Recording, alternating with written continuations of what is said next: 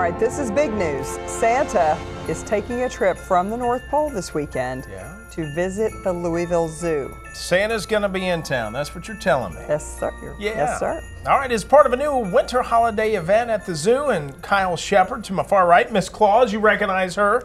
Welcome to the show. So good to see you. Thank you for having us. All right, Kyle, let's start with you. Tell me about this weekend event happening at the zoo. So, well, as you said, Santa and Mrs. Claus are making a trip to the zoo, and we've got animal enrichment for the animals because, you know, they're a big part of the zoo. And uh, basically, enrichment is just something that would bring out a natural behavior that the animals would have in the wild. So, we, like you see here from last year, we gave them some boxes. We'll put like food puzzles in those boxes so they have to forage, and that elicits their foraging behavior. We've got letters to Santa in the gift shop. You can write a letter to Santa in the North Pole, put down your wishes. That's in the gift shop. And then this weekend, to culminate, we've, been, we've been doing this all week or all month, but uh, this weekend we have Santa and Mrs. Claus who will be the culmination of the event. And so, like I said, well, you can see those photos. We've got um, probably some Christmas trees you'll see. We've got that's a that's a mouse with Becca there. so, and some Christmas tree boxes, like I said. Um, the meerkats are going to get like a baby pool full of uh, ornaments and fun stuff like that.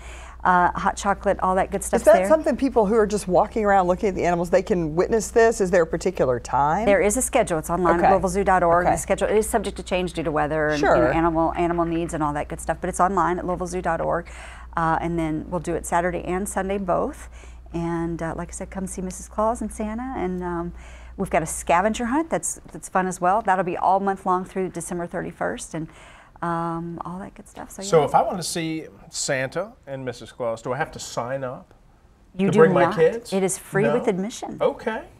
Can I Hey. come with my own camera and take pictures? You sure can. some That's- places that's the they're like, don't take, don't take pictures with your own camera. No, Okay, no, absolutely. gotcha. It's free with Zoo admission or membership, uh, and they'll be here from 10 to 2 on Saturday and Sunday. They're, they're very busy this season, so we're Well, glad they can I, make I a was going stop. to ask Mrs. Claus how things are going up at the North Pole. You know, it's a tight schedule, but we make it happen. It's good to have Every a lot year. of teams of elves helping us out, though.